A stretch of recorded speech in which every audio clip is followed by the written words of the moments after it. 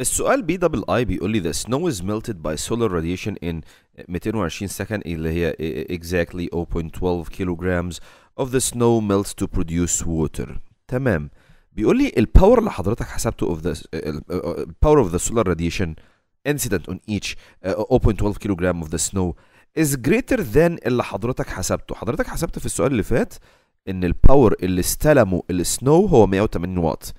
فبيقول لي suggest one reason. هو الحقيقة هو قال لي بيقول لي بصراحة على فكرة الشمس أصلا بصراحة بت بتبعت أكبر من الرقم ده. الرقم ده مش صحيح اللي أنت حسبته السؤال اللي فات. تعال نفهمها يا ولاد بكل بساطة. حبايبي أدي الرود. ده الرود. واتفقنا إن الرود عليه طبقة من السنو. طبقة من السنو. ودي الشمس. الشمس بتبعت ال radiation هو ال radiation ده اللي هيسيح أيوه هي melt ال snow.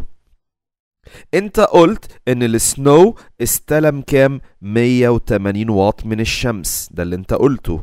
تمام؟ لما جينا حسبنا لقينا الرقم فعليا أكبر من كده. ممكن تقول لي أسباب؟ عندك اقتراحات لهذا الشيء؟ أنا أقول لك كذا حاجة. رقم واحد ال heat اللي واصل لل snow يا ولاد؟ شوية منه ال road بياخده. ما هو ال road ما هو ال road لامس ال snow. وال air اللي حوالين ال snow كمان بياخد حبة.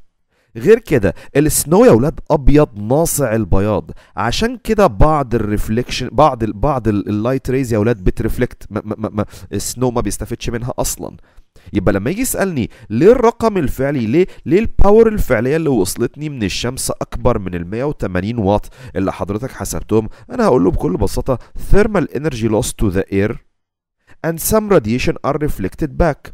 المارك سكيم هنا يا أولاد جايب حاجات ظريفة جدا. بيقول لي energy lost to uh, something specific. يعني يا تقول له air يا تقول له road يا تقول له surroundings وتقول له reflected. يعني الموضوع ده كله عليه درجة واحدة بس.